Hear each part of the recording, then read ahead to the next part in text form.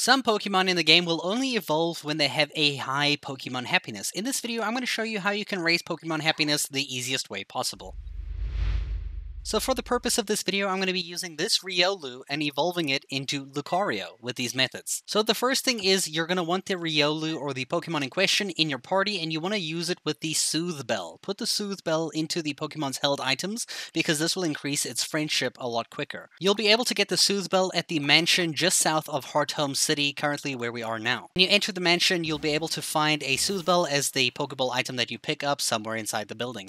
You'll also want to make sure that you actually make your Pokemon walk together with you so that you can see the Riolu in the overworld so that it's walking around with you. Now, if you haven't done this in the day already, you can go to Veilstone City and you can get a lot of friendship quite quickly. This can be done if you're at the bottom left of Veilstone City and you enter this building over here with this bold guy standing outside of the door. I can say bold because I'm bold too, so it's okay. I'm not making fun of him because bold people are cool. anyway, all you have to do is speak to this lady here and she can give a massage to a Pokemon that will increase its friendship. So you can only do this once per per day in real days, so uh, choose wisely. I should also note that the rare berries, like the ones like Grepa Berry, Hondew Berry, Qualot, Kelpsy, Pomeg, Tamato Berry, these ones that will actually reduce the EVs on the Pokemon for various types, when you feed them to them, it will also make them more friendly. So if you're trying to get a Pokemon to friendly quicker, you can use this method, but highly, I highly suggest probably keeping your rare berries because they are rare. Now, if you're looking to get a Pokemon to evolve by happiness as soon as possible, it is going to cost you an arm and a leg, but you can do this at Veilstone City. From the Pokemon Center, you're going to head to the Pokemon Shop department store over here. In the store, immediately go up the escalator to the second floor, and you're going to speak to the lady in the middle over here.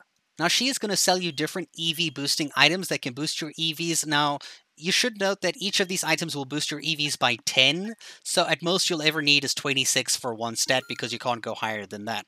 However, they are quite expensive, but one thing you should note is that they do increase the friendship for your Pokemon by quite a lot. And I mean, like, when you're making a competitive Pokemon for like a Riolu, it will evolve the next time it levels up. You don't have to do the other method I'm going to talk about soon. And lastly, since this method I'm going to be using is going to get you a lot of money, you want to put an amulet coin item onto your main Pokemon that is going to be one-shotting all of these Pokemon that is going to get you 16,000 Pokedollars every single time you kill a Pokemon, which is which is going to be great. And will actually help you fund buying those uh, those calciums and those those those protein items if you want to level up instantly. Now when you're ready, we can go back to outside the mansion here just south of Hearthome City again. And you'll find this old couple over here, the old man and the old lady. They will be battleable by using the VS Seeker item. Essentially, when you use this item, it will actually let you re-battle people or Pokemon trainers that you've battled before. Now, it is worth noting that when you battle these people, you will increase your EVs. The lady on the right will increase your EVs for special attack. The guy on the left will increase your EVs for normal attack. So every time you beat one of these two trainers, you should be getting 16,000 Poké Dollars, which is a lot of cash to, to rack up quite quickly. But you'll also be getting friendship and experience for your Riolu, who is second in the party.